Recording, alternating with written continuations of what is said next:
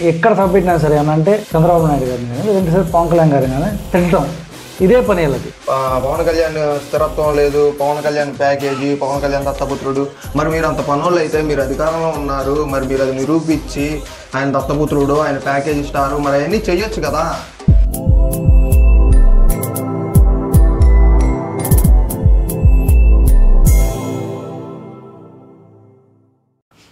నమస్కారం.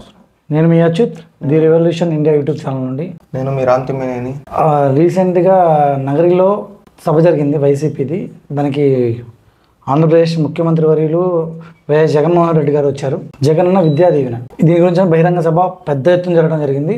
దీనికి ఎవరైతే మనకి ఎమ్మెల్యే మినిస్టర్ అయినా రోజా గారు ఉన్నారో తను ప్రసంగించడం జరిగింది. ఒక ఇరవై ఐదు నిమిషాలు ప్రసంగం జరిగింది. ఇరవై ఐదు నిమిషాల్లో వీళ్ళు మాట్లాడిన టాపిక్లు ఏంటంటే స్టూడెంట్స్కి అంటే విద్యార్థులకు ఉపయోగపడే టాపిక్ ఏది లేదు. ఎక్కడ సభ పెట్టినా సరే ఇప్పుడు సపోజ్ విద్యార్థులు సభ పెట్టారు. సభ దేనికోసం అవ్వాలి? విద్యార్థులను ఉద్దేశించి. వాళ్ళు ఎలా చదువుకోవాలి? వాళ్ళు ఎలా పైకి రావాలి? వాళ్ళు ఎలా భవిష్యత్తులో ఇచ్చేసుకోవాలి ఎలా ఎలా చేస్తే బాగుంటుందని చెప్పేసి సభలో ప్రసంగం జరగాలి. ఎక్కడ సభ పెట్టినా సరే అని అంటే చంద్రబాబు నాయుడు గారిని కానీ లేదంటే సరే పవన్ కళ్యాణ్ గారిని కానీ తింటాం. ఇదే పని వీళ్ళది. అలా అంట అంట ఇంకొక చిన్న రెండు మాటలు అన్నారనమాట సింపుల్ ఏంటంటే చంద్రబాబు గారిని ఫాలో అయితే విద్యార్థులు జైలుకి వెళ్తారు. పవన్ కళ్యాణ్ని ఫాలో అయితే సినిమా రిలీజ్కి వెళ్తారు. జగన్ ఫాలో అయితే యూనివర్సిటీలకి ఉన్నత చదువులకి పక్క దేశాలకు కూడా వెళ్తారని చెప్పేసి అన్నారు. చిన్న కరెక్షన్ అండి దీంట్లో.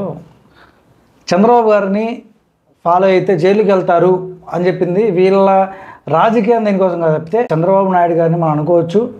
అతను స్టార్ట్ చేసిన హైదరాబాద్ కానీ అతను టూ టూ థౌజండ్స్లో అనుకున్న విజన్ని ట్వంటీ ట్వంటీ టూలో ఇప్పుడు హైదరాబాద్ ఎలా ఉందని కానీ అతను నమ్ముకున్న వాళ్ళు ఎలా అబ్రాడ్ సేల్ కానీ సాఫ్ట్వేర్స్ కానీ ఎంతమంది సెటిల్ అయినా అందరికీ తెలుసు. అలాగే పవన్ కళ్యాణ్ గారు నమ్ముకుంటే సినిమా రిలీజ్కి వెళ్తారని చెప్పి చాలామంది అతన్ని ఫాలో అయితే అతని అభిమానులు కానివ్వండి అతని ప్రజా అతను స్టార్ట్ చేసిన పార్టీ నుంచి కానివ్వండి ఎవరైనా కానివ్వండి వాళ్ళ సొంత డబ్బులు పెట్టి వాళ్ళ పార్టీ వాళ్ళకి అన్యాయం జరిగిన ఇబ్బంది పడ్డా పవన్ కళ్యాణ్ గారు ఎవరో ఎలా అయితే ఆయన సొంత డబ్బులు సినిమాలు చేసుకున్న ఆ డబ్బుల్ని రైతులకు కానీ ప్రజలకు కానీ వాళ్ళ ఇళ్ళ కోసం కానీ ఇవ్వడం జరుగుతుందో అలాగే ఆ పార్టీలో ఉన్న నాయకులు కానీ లేదా కార్యకర్తలు కానీ లేకపోతే అతని అభిమానులు కానీ రక్తదానాలని కానీ అన్నదానాలని కానీ ఇంకా చాలా చాలా ఇలా ఎవరైనా వాళ్ళ పార్టీలో ఒకళ్ళు ఇబ్బంది పడుతున్నారంటే ఎలాగైతే జనసేనలో ఉన్న నాయకులు కానీ అభిమానులు కానీ లేదా కార్యకర్తలు ఎవరైనా సరే వాళ్ళ సొంత డబ్బులు వేసుకొని వాళ్ళ పక్కన ఇబ్బంది పడుతుంటే వాళ్ళు వాళ్ళ సొంత డబ్బులు వేసుకొని వాళ్ళకి హెల్ప్ చేయడం జరుగుతుంది. ఇలాంటివి ఉన్న వాళ్ళని ఏమో కామెంట్ చేస్తుంది.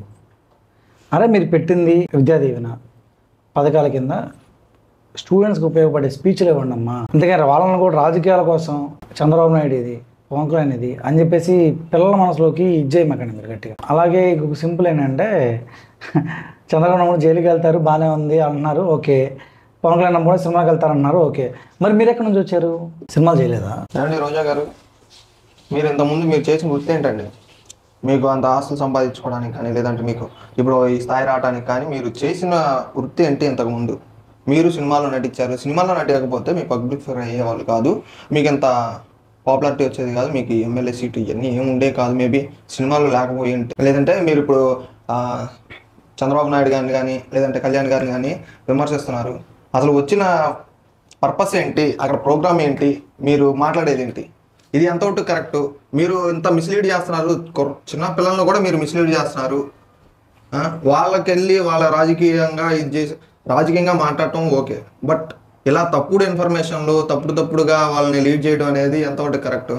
ఇప్పుడు చంద్రబాబు నాయుడు గారిని ఫాలో అయితే జైలుకి వెళ్తా అన్నారు.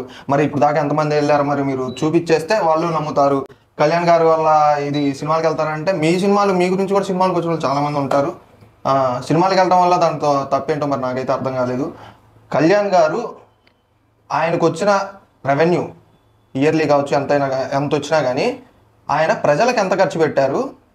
మీరు అది గమనిస్తున్నారో లేదో మరి? పవన్ కళ్యాణ్ స్థిరత్వం లేదు పవన్ కళ్యాణ్ ప్యాకేజీ పవన్ కళ్యాణ్ దత్తపుత్రుడు.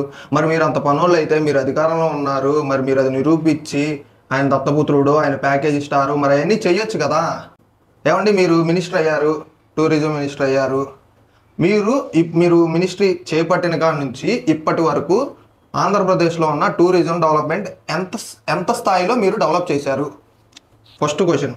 మీకు చెప్పే దమ్ముందా? మీరు అంటారు కదా దమ్ముందా ధైర్యం ఉందా అది ఉందా ఇది ఉందా అని చెప్పేసి మీకు దమ్ముందా? మీరు చూపించగలరా పేపర్ వర్క్కి వచ్చేసరికి మేము వచ్చేసాం చేసాం ఇది చేసాం అని చెప్పి స్టేట్మెంట్లు ఇస్తారు. వాస్తవానికి వస్తే మాత్రం ఇక్కడ ఏముండదు.